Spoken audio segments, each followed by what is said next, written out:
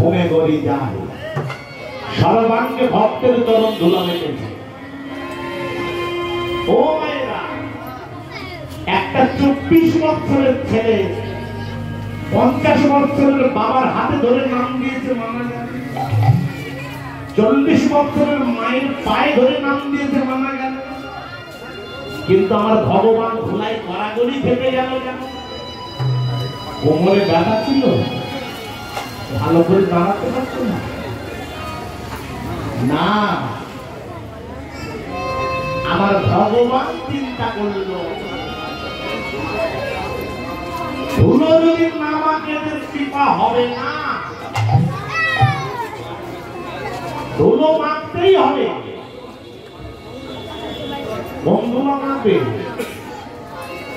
ভগবান দেখিয়ে দিল, জগৎজিৎ তোমরা দেখে না আমি যেমন ভক্তের চরণ ধুলো অঙ্গে রেখেছি তোমরাও আমার মতো সাধুগুরু বৈষ্ণবের চরণ ধুলা শ্রী অঙ্গে মাখো।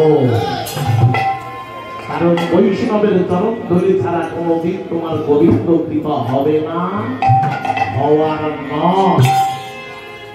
কিন্তু কলির অহংকারী মানুষ ধুলো মানতে চায়।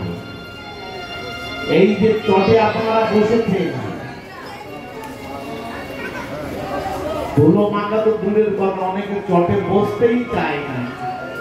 যদি জামা কাপড়টা নোংরা হয়ে কিন্তু এই চটে যে দোলাটা লেগে আছে, কত ভক্তের চরণ দোলা। এটা অঙ্গে মাখতে গেলে কত জনমের স্বীকৃতির ফল থাকা দরকার। কিন্তু আমরা মাখি না।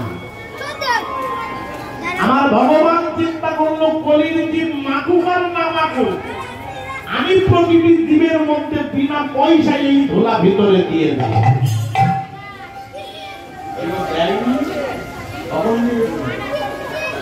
কীভাবে? দেখবেন যখন লুটের পাত ওঠানোর দশ টাকা দামে রসগোল্লার পিস যদি এখানে চটে পড়ে থাকে কিন্তু দশ পয়সা দামের পাত ওঠা ধরা হয় কি? হুড়োহুড়ি হয় না? মা ছেলের হাতটা ধরে তুলেছি পাতলা তুলে দিয়ে ছেড়ে দিয়েছে সামনে যদি পাতা সাপারে সাইড দিয়ে যদি কেউ হাত বাড়িয়ে তাহলে মধ্যে আসবে না যারা হরিবাসনে বসল, তাদের কৃপা হলো। যারা এলো, তাদের কৃপা হলো। যারা আসলো না, তাদেরও কৃপা হলো? এই ভক্তের চরণ ধরে বিস্তৃত প্রসাদটা যখন সেই ব্যক্তি সেবা করে। ভক্তের কৃপা হয় ভগবানের ভগবান বলতো এই কলিযুগে বাহ্যিক পারো আর না পারো। অন্তত প্রত্যেক দিন সকালবেলা ঘুম থেকে উঠে নিজে নিজ পিতা মাতার চরণের ধুলা মাখো। বাহ্যিক ভগবানকে ভালোবাসতে পারো না পারো। যে ভগবান দুটো বসে তাদের একটু ভালোবাসো, শ্রদ্ধা করো। বাবা মায়ের চরণের ধুলা যদি সন্তান নিতে পারে, তার প্রার্থনা হতে হবে? না আমার মুখের কথা সিদ্ধান্ত। দেখেন কি কৈলাসের মা দুর্গা বসেছিল গণেশকে ডেকেছে, শোন দুজন আমার কাছে। তোরা দুজনে পৃথিবীর সর্বতীর্থ ঘুরে স্নান করে যে আগে এসে আমাদের চরণে ষষ্ঠাকে প্রণাম করবি আমার গলায় মুখ তারা মালাটা খুলে থাকে, পুরস্কার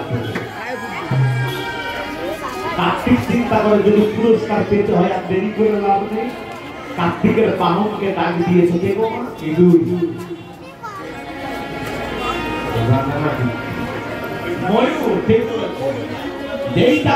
দৌড়ে চলে গেল।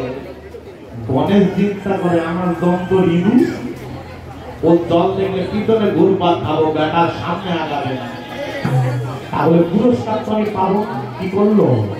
বাবা মা কৈলাসে বসেছিল, সাতবার কৈলাস ধামটা ঘুরে গিয়ে স্নান করে ভক্তি করে বাবা মায়ের চরণে গিয়ে ষষ্ঠাঙ্গে প্রণাম করেছে মা খুশি হয়ে মুখটার মালা খুলে বয়স্ক পুরস্কার পেয়েছে। এইবার কার্তিক কাল ঘাম ছুটিয়ে এসে তাকে দন্তর গলায় পুরস্কার দিয়েছে। বলে মা এ কেমন বিচার হলো? মা দুর্গা বলে, আরে, হো হো করতে যাস কোথায়? তোর আসল ভগবান এখানে বসে কোথায় ঘুরে বেড়া তাই বলি, মা পাঁচ দিন ধুলো মাখতে পারো আর না পারো, অন্তত বাবা মায়ের চরণের ধুলো মাখো। তোমার পবিত্র কৃপা আপনা হতেই হবে। তাই সেই গৌর হরি সর্বাঙ্গে ধোলা মেখে সুরধনির তীরে বসেছে। ভাবাবেশে একটা করে ফিল্ম নিয়ে সুরধনির জলে নিচ্ছে ভক্তরা দূর থেকে দেখছে, গৌর হরি যেন আজকের অভিমানে দুঃখে থেকে